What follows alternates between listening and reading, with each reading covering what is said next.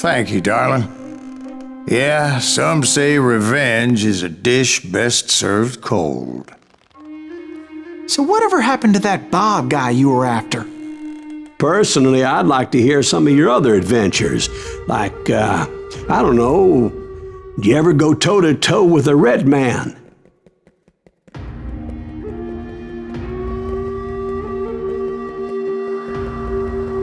Yes, I did, Ben. I remember once I was after this renegade Apache, Grey Wolf. Strangely enough, revenge was also his primary motivation.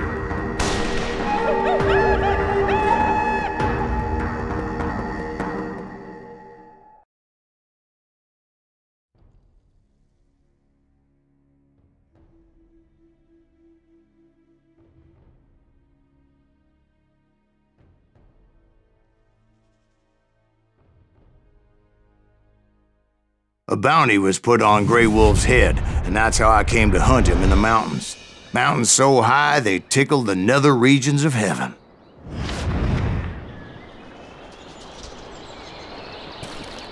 Grey Wolf was a Chiricahua Apache medicine man who had led a war party in revenge for a massacre against his people.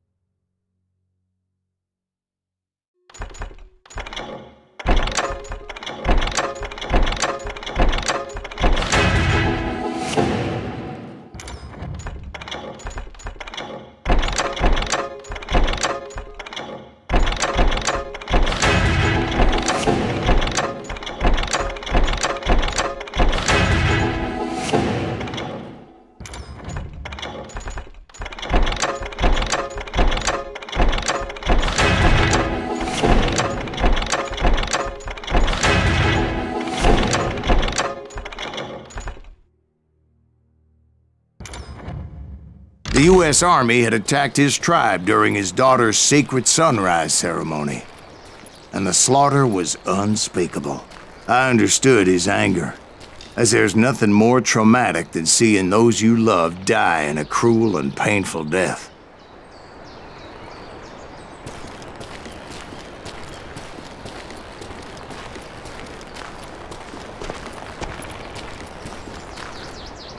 Right from the beginning, I couldn't shake the feeling that Grey Wolf was watching my every move.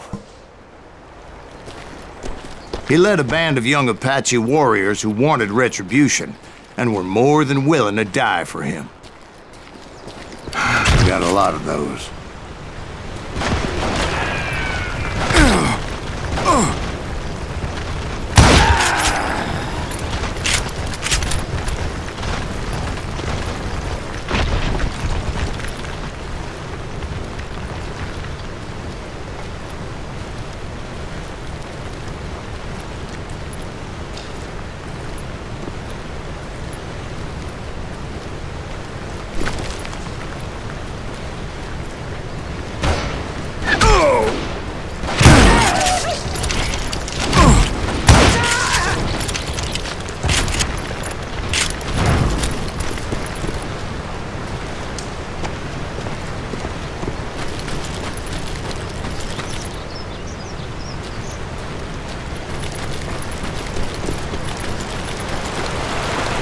Did you find Grey Wolf?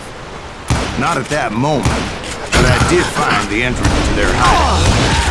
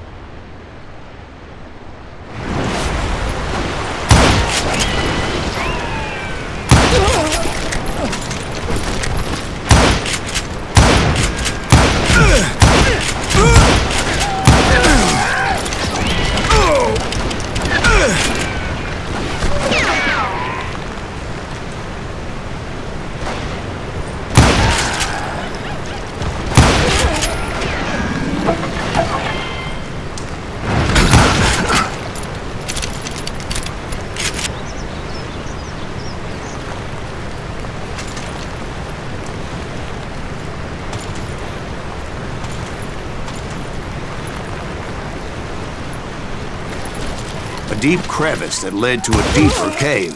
Don't tell me you went in there. Yeah, but it's not out of bravery so much as pure, angry cussedness.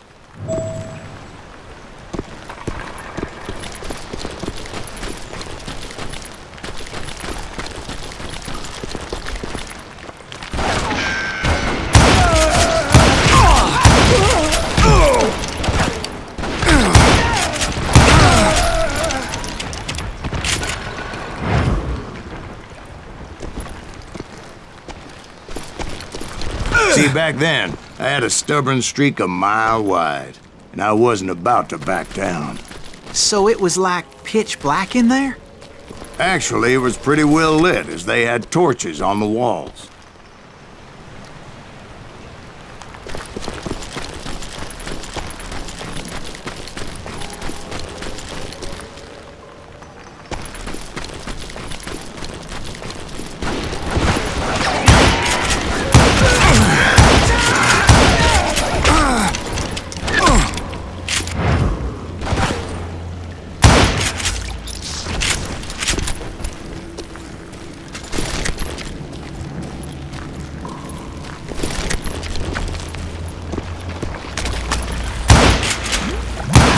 Was his cave?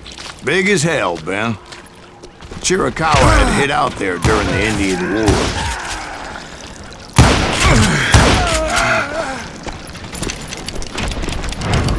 They thought it was haunted with the ghosts of those murdered by the horse soldiers. The cave was haunted with dead Indian ghosts? To be honest, I was more concerned with the live ones than the dead ones.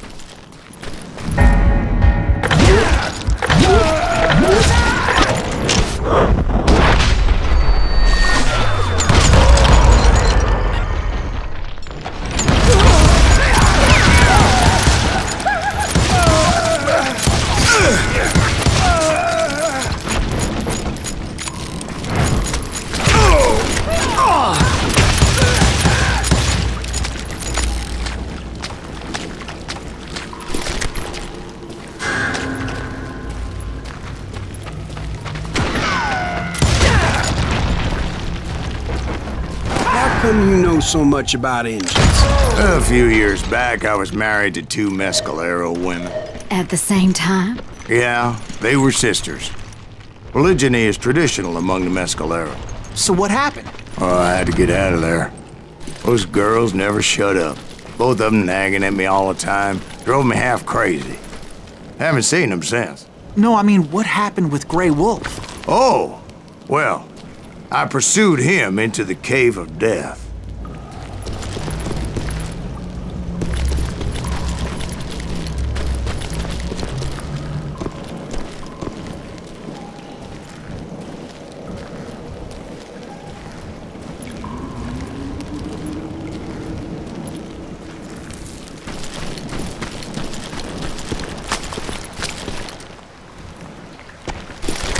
I came upon this flooded grotto, and that's when I saw him. He came to me unarmed and unafraid. His voice echoed in the shadows, and I sensed he meant me no harm.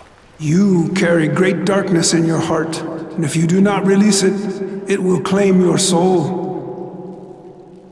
The sound of his voice put some kind of ancient Indian spell on me.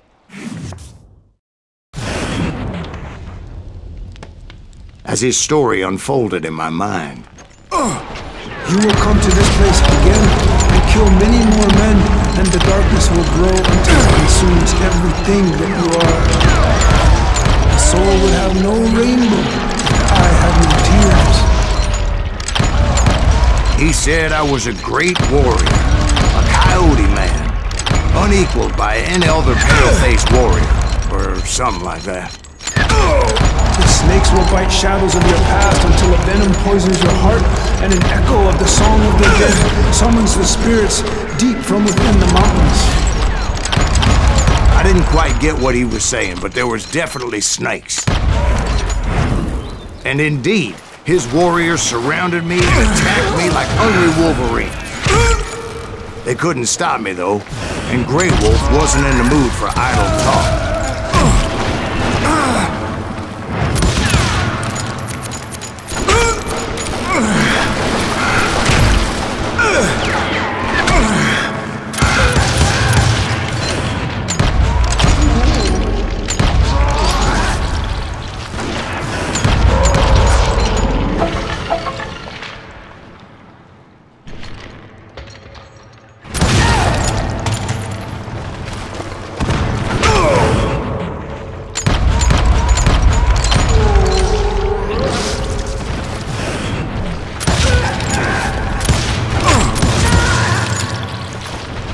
I swear I couldn't see any way out of this trap. But suddenly, one just appeared. Kinda like a miracle.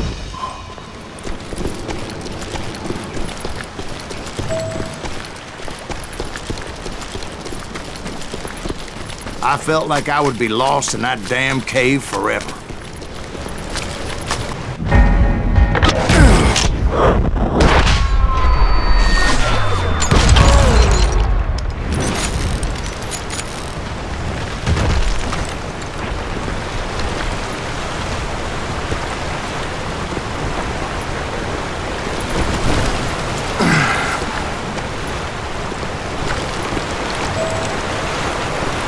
Chased after him, determined to make him explain the meaning of all that mumbo-jumbo.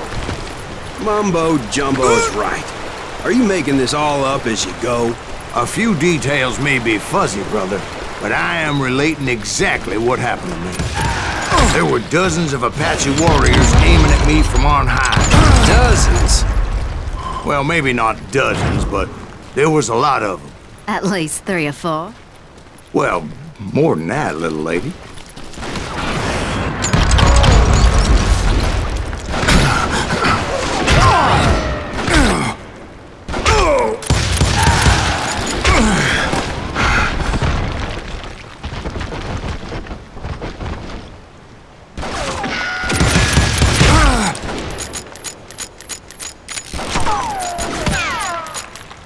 I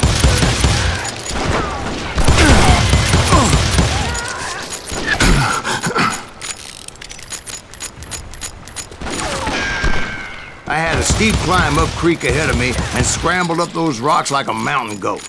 I was determined to locate Grey Wolf and find out exactly what the hell he was trying to tell me. And wouldn't you know it, that crafty son of a bitch led me right into a trap. What kind of trap? Well, son, there had to be at least a hundred Apaches surrounding me. A hundred? God be my witness. Oh, come on. Who you kidding? Hey, I believe you. Come on, tell us how it ended. All right, but I'm not gonna drag this out. Where were we? You were surrounded by a hundred Apache warriors. Well, I didn't take the time to count them exactly, but there were a lot of them.